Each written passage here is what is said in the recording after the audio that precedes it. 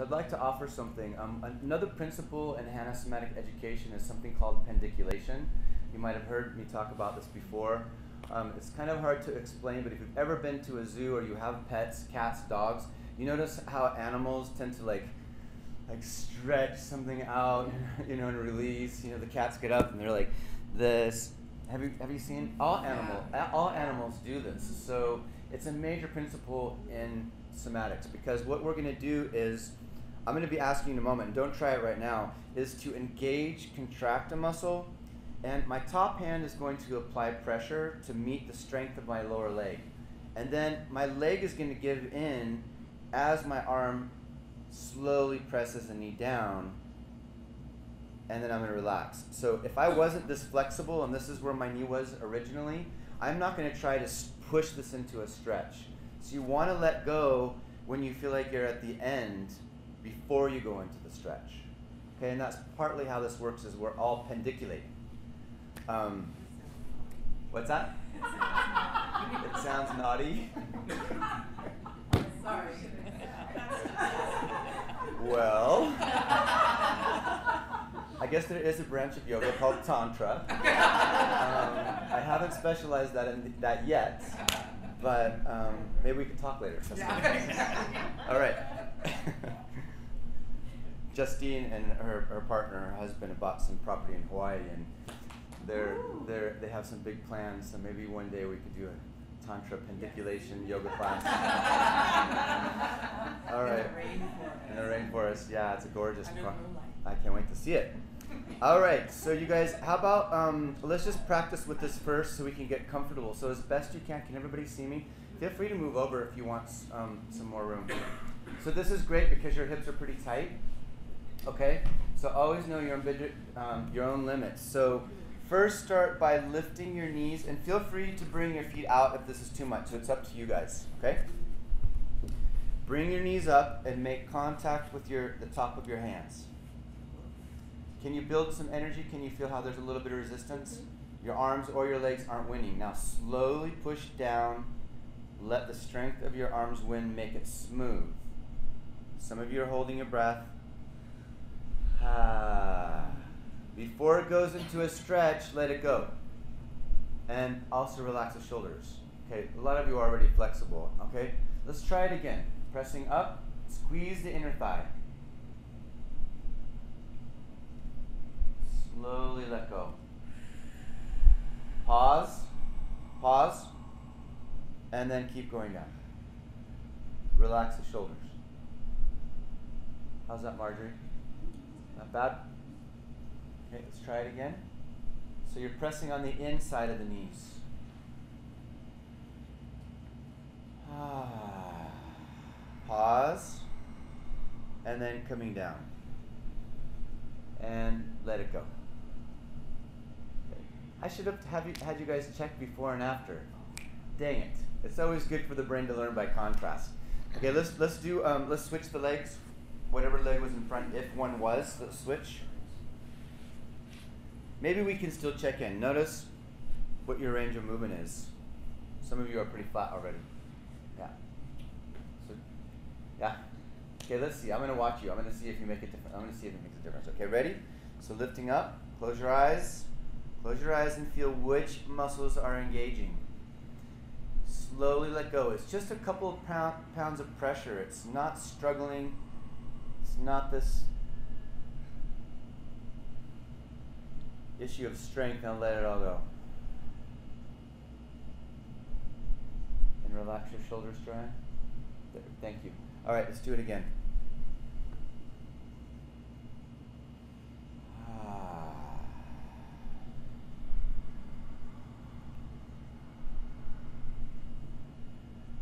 And release.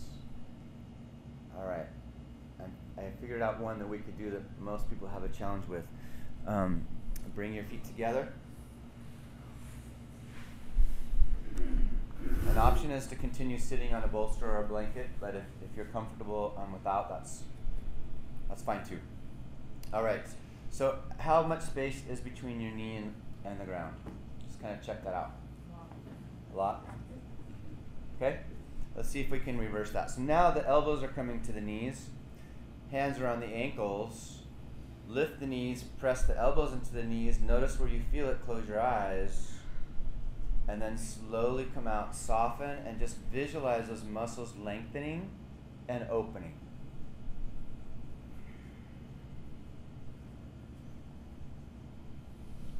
You know what? I'm inspired to change the instructions up a little bit. Let's come forward into a bend as well, because I think we're going to find a difference in this as well. So let's just do the before and after. Let's do the before. We do the movement. Just check it out.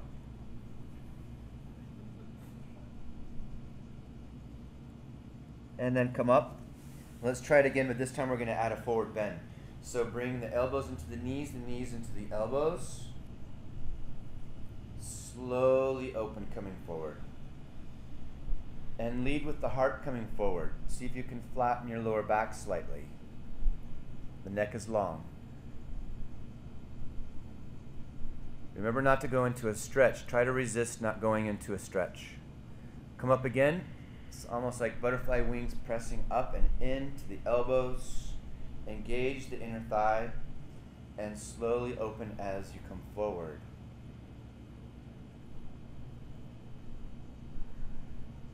At the very end, let it all go. Neck relaxes, shoulder relaxes, inner groin relaxes. Last time, coming up, sitting tall. Just enough pressure so there's enough feedback, but we're not struggling in this. Just enough. Slowly let go and open. Leaning forward with the heart. Try to lengthen your lower back. Neck is nice and long as well. And now let go completely and notice if you have any more range of motion.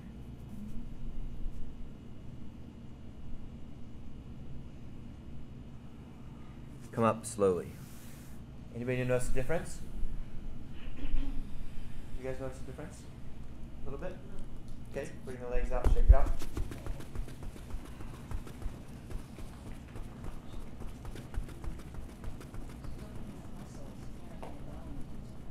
It's opening the muscles surrounding the bones. Yeah, creating more length. All right, this is a somatic hip opener. Bring your right knee forward and your left foot behind. Right knee forward, left foot behind. Right hand is resting on the floor.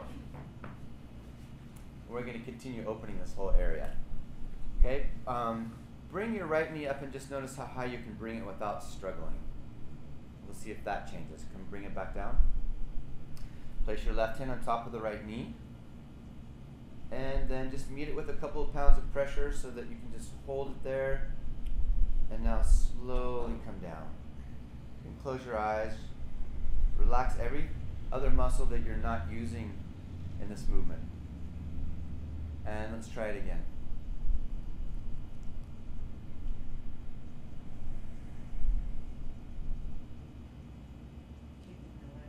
The, top leg is at a slightly different angle.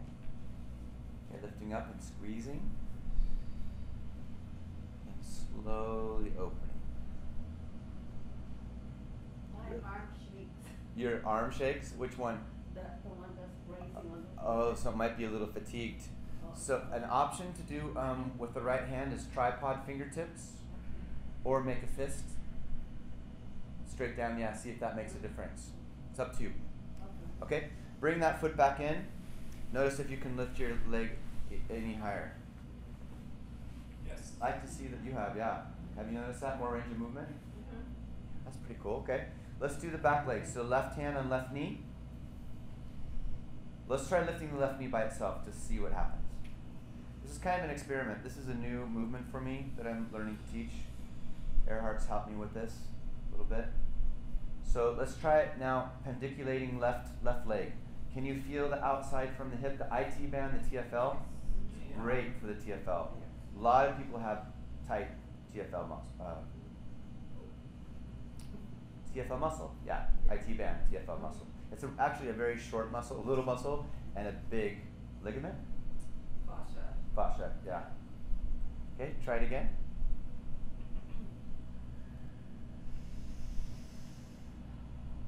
So there's pressure in both directions. There's pressure in both directions.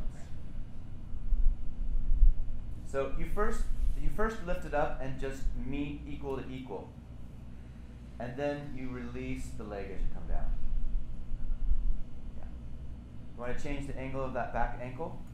In fact, if you flex the left ankle, it helps protect the knee a little bit. The left ankle is flexed. Try it one more time. Yeah. If you felt my TFL, it's like a rock. So this is something I really need to keep doing more of. Let it all go. Remember when you touch the floor, then everything releases. You want to bring that ankle back in and just notice if you can lift your leg up higher. Can you? Yeah, definitely. A little more efficient? Yeah. When the muscles are tight and tense, it's not efficient. We don't have the energy, the strength of the muscle. So actually, by doing these movements, not only are we increasing our range of motion, but we're bringing strength, the, uh, the choice of strength back to the muscle. Okay, now from the ankle to the knee, lifting uh, two fingertips, pressing on top of the heel, big toe on the ground, meet the pressure so that there's equal strength, and then let that arm or the fingers win as the heel comes down towards the floor. So make it as slow and smooth as you can. Does that make sense?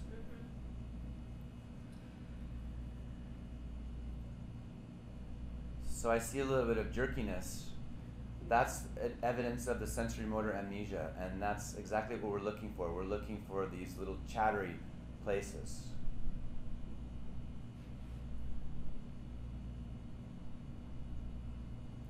I have to investigate this further with some of my friends that are chiropractors and PTs, but I'm guessing this is probably pretty good for the attachments to the knee. It's funny, last month, I got a little scared because my knee started to hurt, Uh huh. but it felt awesome afterwards. Yeah. just doing of Okay. yeah. So I'm think, I'm- yeah, if you fe- use the feathering technique, you know, and, and just meet that place and move out of it. Yeah. Okay. Great. Let's do the other side, you guys. Good job. Oh, you're not done. We have to check, don't we? Oh. Did we do it before Oh, yeah. Did you check it? I, d- I don't know if I asked you to do it before, but but I, I definitely have more range of motion. Yeah. Okay, that's cool. Oh, yeah. Isn't this fun? I've been told that uh, Thomas Hanna and Moshe Feldenkrais, this tradition comes from Moshe Moshe Feldenkrais, um, that they would watch the movement of babies and animals to come up with these. So, all right, should we check the front leg? Let's just check our range of motion.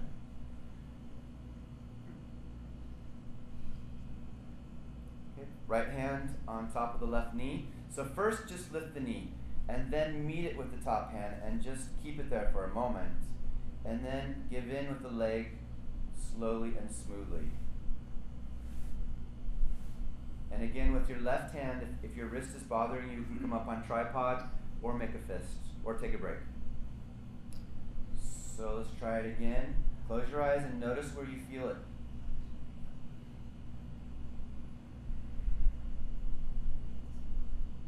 If you if you feel if you have moments of where there's, for lack of better words, chatter, where the muscles kind of skipping, then that's just stop there and see what you can do. Maybe maybe take the pressure off a little bit and just see what you can do to smooth it out. After this uh, next one, I'm not trying to rush you, but everybody's at their own pace. Change the direction of the top foot. Bring it forward slightly. Again, to protect the knee, you can always flex the ankle, the left ankle.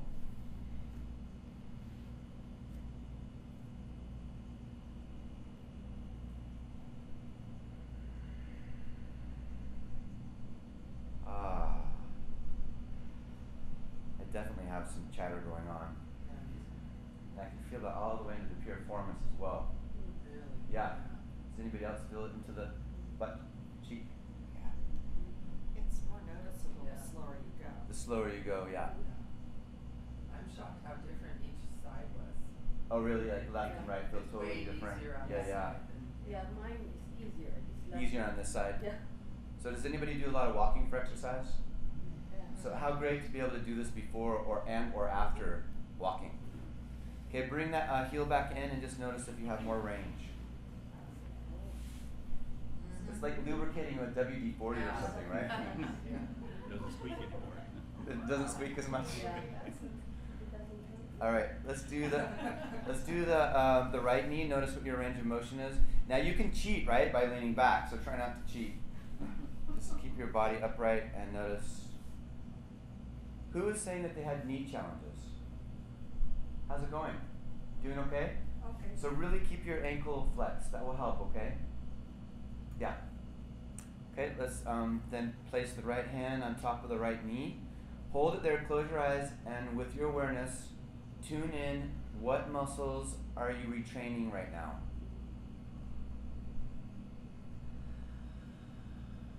Some of us don't have a lot of awareness with our lower half of our body. So this is great to train ourselves to pay attention. And there's so many muscles that do attach in different places. I was amazed when I really started studying um, for this movement. I was studying my anatomy again. I thought, wow, there are so many muscles wrapping into the pelvis and down to the knee and attaching all over the femur. Yeah. And then change the angle of the back foot.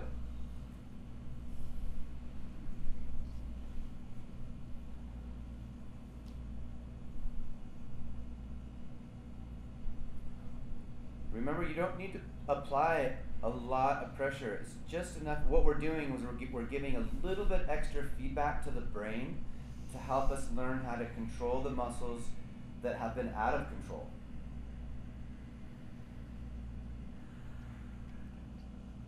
How's it going? It's nice. Definitely in the area that's very. Okay, awesome. Especially this leg. Great. So remember the feathering. Like, don't overdo it. You know, just be like, oh yeah, and then back off. All right. Um, bring the heel back in. Let's check it out just for the sake of time. I could play with you guys all day. I don't know where the time has gone today. It's just, do you have more range of movement? I really noticed it with this one. All right, let's do the heels. So um, top two fingers. Oh wait, should we check to see how much we can lift the ankle? So big toe on the floor, just lift the uh, heel. And then top two fingers, apply some pressure on the top of the heel, slowly come down. Has anybody been stung by a stingray? Yes. I couldn't believe it. It's like a puncture wo- wound. Mm-hmm. You put it in hot water. Hot water, yeah, for two hours. But I looked down and I know that sounds gross, but I was squirting blood. It was just like projectile. I'm like, mm-hmm. oh my gosh. I still have something in my foot. You still have yeah. Well, it's a bone. It's like a bone with jagged teeth that goes and like punctures. Anyway, sorry. I didn't- but I'm touching my the part that was punctured, so I'm feeling a little sad for myself. It's okay. Thank you. I'm, I live. I live. Tell the story. Yeah. Let's do one more. It's it's the toxins of the sting that really I was like that was the most curious part was the waves of pain. It was trippy. Is it poisonous? It's toxic, yeah. You See- You wait to see if you ho- hopefully you don't have allergic reaction. I didn't. I, I went out and. Oh, okay. You went out and I was on my way out next time. Should we check it out? You guys have any more range of motion? Okay. Yeah. So this is kind of fine tuning, you know, just the areas of the TFL and the quadricep, the abductors, the adductors. Um, I'm only going to be able to do one more with you guys, but again, this is one of my favorite ones, and it's the lighthouse. So um, please bring your. We're going to be a little more open now to do this one. So bring the right knee forward and the left foot back. If you guys choose to come next month for Sunday Sanctuary, I'm going to continue evolving with this. There's, I probably didn't get to half the things I wanted to share, so hopefully you can make it again. Um, and thanks for playing with me today. All right, so this is so cool because you'll really get to see how tight your back muscles are, even though we've been working all day today. Is just place your right hand on the floor, bring your belly button in, and turn to the right and pick a spot on the floor or the wall that will mark your range of motion before we do the movement. Remember that spot. Come back to center. Place your left hand on the right shoulder. And then start twisting left and right very slowly. So the left hand on the right shoulder is not gripping, it's just there to basically get the arm out of the way and the elbows resting on the chest. So try not to hold any tension in your shoulders, in other words. And as you turn to the right, let that lift, invite that left hip to roll forward. So not only is this good for the hips and the abductors, the adductors, um, it's also repatterning all the muscles surrounding the spine. Actually, we're even going to affect the eyes, the muscles of the eye. So explore your range of movement. Another tip in this movement is when you twist um, to the left, it's not as enjoyable. You kind of stop sooner than when you twist to the right. But squeeze that left shoulder blade back behind you a little bit. See if you can get a little bit more room. So you're exploring your range of motion. Okay, so we're going to keep twisting to the left and the right, but now the head is going to go the opposite direction. And the eyes in the opposite direction of the head. No, not yet. not yet. One eye in each direction. Earhart's done this too many times with me. All right, so do the best you can. So your head is crisscrossing over your chest as you twist the opposite direction. Keep exploring your range.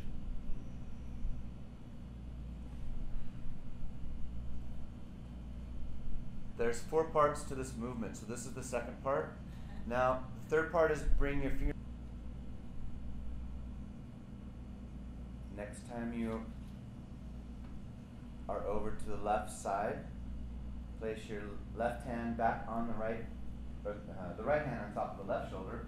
So everybody twist to the left, and then reach with the elbow and the chin towards the ceiling. Arch your back, and then round the shoulders, chin to chest. Belly comes in. You can hear a nap coming on.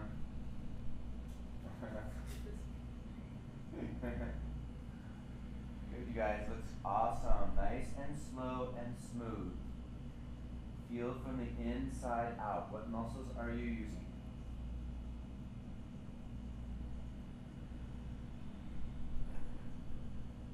And then eyes go the opposite direction.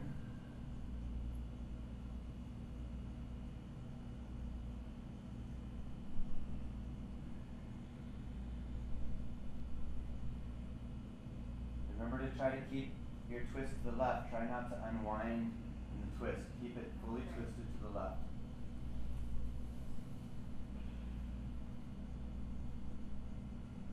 There you go. There you go. Yeah, it's okay. All right, and now let's finish by turning everything the same direction. Eyes closed. Explore your range of motion.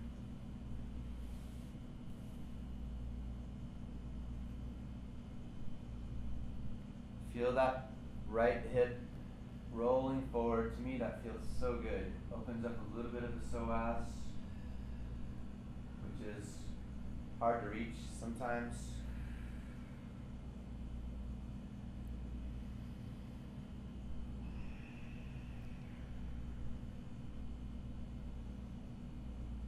After your next repetition, you can release the right hand and look over your left shoulder.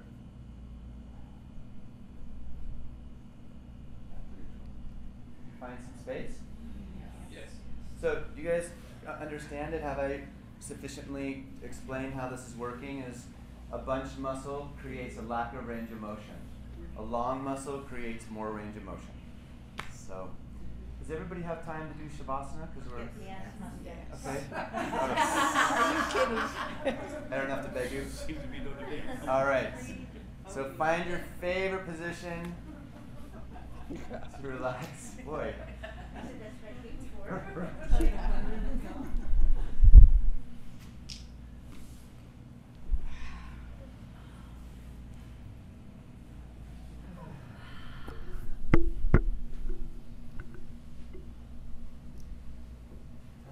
So make yourself comfortable.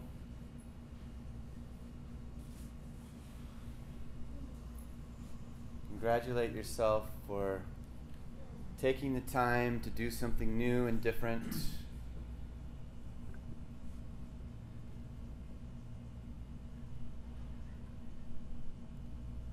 Relaxing your jaw, relaxing your eyes, relaxing your tongue. Ah, let all of the instructions go.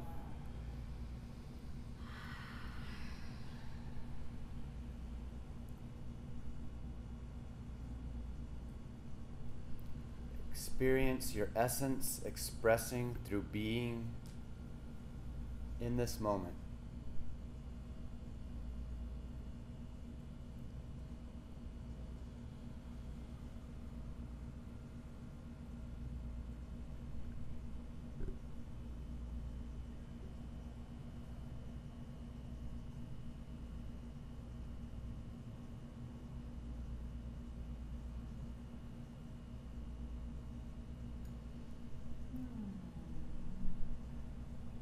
Going to be quiet for a little while, but I encourage you to take advantage of this time for deep conscious rest. This is the most powerful time of class where we can release our personality and allow ourselves, our spirit, to inhabit our physical body without any effort. So enjoy riding the waves of your breath. Let go ground close to the earth, and be free.